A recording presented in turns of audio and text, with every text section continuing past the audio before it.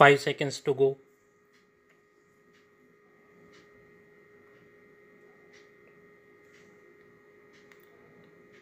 Start. Madam Speaker, I rise to present before this august House the statement of estimated receipts and expenditure for 2014-15 for railways. As I stand in this temple of democracy, I owe this opportunity to the people of this country who have elected us to represent them and to shape their destiny. I am grateful to the Honorable Prime Minister Shri Narendra Modi ji for having reposed his faith in me and entrusting this huge responsibility of leading Indian Railways. I promise to fulfill this responsibility and make every endeavor not only to lead Indian Railways but also aid in building a vibrant India under the dynamic leadership of Shri Narendra Modi ji. It gives me immense pleasure to present my maiden railway budget. Indian Railways, being the nation's prime mover, is the structure and soul of Indian economy. It echoes rhyme and rhythm in the hearts of every citizen of this country from Baramulla in the north to Kanyakumari in the south and from Okha in the west to Lekhapani in the east. Madam Speaker, we all know that Indian Railways cut across all barriers of regions, classes, and creed and is a microcosm of India on the move. From a man on the streets of Bengaluru to fish vendors in Kolkata to the hustle bustle at Nizamuddin station, everywhere you find a citizen of this country rushing to connect with Indian Railways. Madam Speaker, though I am hardly a month old in the office, I am flooded with requests and suggestions for new trains, new railway lines, and better services from the honorable members of the parliament, from my colleagues in the government, from states, from stakeholders, from organizations, and from people of all walks of life. I know that everybody feels that they have a solution for the two challenges which Indian Railways face. I too thought so when I was an outsider to this system before I was exposed to the intricacies and complexities of this vast organization.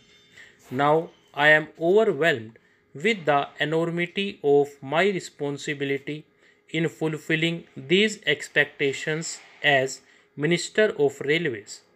This, Madam Speaker, reminds me of Kautilya's words. In the happiness of the people lies the ruler's happiness. Their welfare is his welfare. What pleases him, the ruler shall not consider good, but whatever pleases his people, the ruler shall consider good. Indian Railways run 12,617 trains to carry over 23 million passengers per day, connecting more than 7,172 stations spread across the subcontinent.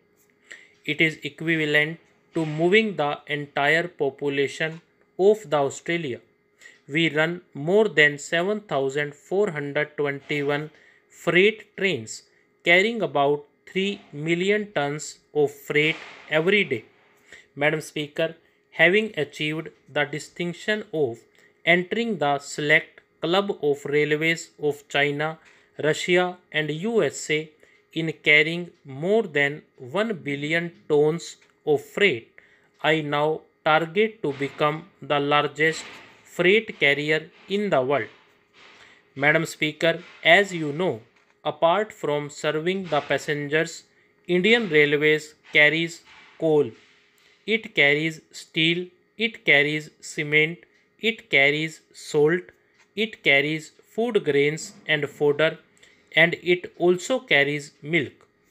Thus, Indian Railways practically carries anything and everything, and it never says no to a thing if it fits in the wagons.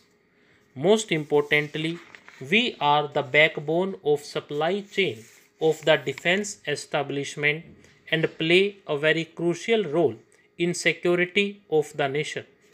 Madam Speaker, while we carry 23 million passengers a day, there are still large number of people who have not set a foot on a train yet. We carry over 1 billion tons of freight a year connecting ports and mines to industrial clusters, but still there are vast tracts of hinterland waiting for rail connectivity. Though freight business has grown steadily over the years, Indian Railways carry only 31% of the total freight carried in the country by all modes. These are the challenges we have to face.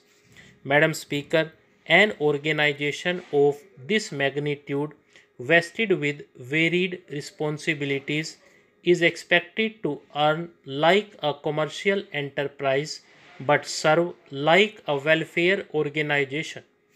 These two objectives are like two rails of the railway track which though travel together but never meet. So far, Indian Railways have managed to do tight rope walking by balancing these twin conflicting objectives. Social service obligation rose from 9.4% of gross traffic receipts in 2001 to 16.6% in 2010-11. In 2012-13, such obligations stood over rupees 20,000 crore. The total investment, which is the plan outlay under budgetary sources in the same year, was rupees 35,241 crore. As an amount, the burden of social service obligation is more than half of the size of our plan outlay under budgetary sources.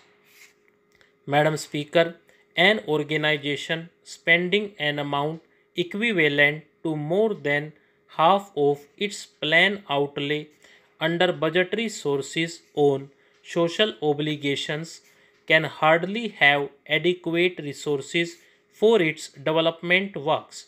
However, Madam Speaker, Indian Railways would continue to fulfill its social obligations but sustaining these objectives beyond a point is not possible without compromising on efficiency and safety of train operations.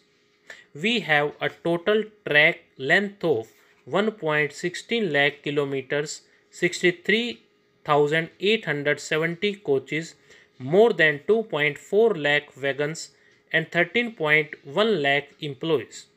This calls for four expenditure on fuel, salary and pension, track and coach maintenance and more importantly on safety works.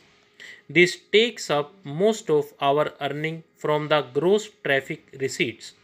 In the year 2013-14, gross traffic receipts were rupees 1,39,558 crore and total working expenses were rupees 1,30,321 crore which works out to an operating ratio of almost 94%.